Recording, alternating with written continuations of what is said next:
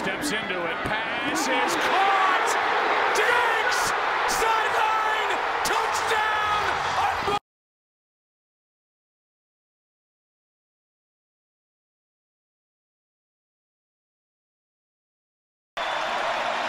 Play action. Cousins. Thielen. He's got it! Inside the five. The ball sitting at the two. Two yards away from a win. Adam Thielen against Patrick Robinson and Kirk Cousins. He sees it immediately. He's got the one on one look. Is the best throw of his career right here with what's on the line. Cousins throws. passes, caught for the win. Kyle Rudolph and the Vikings are moving on.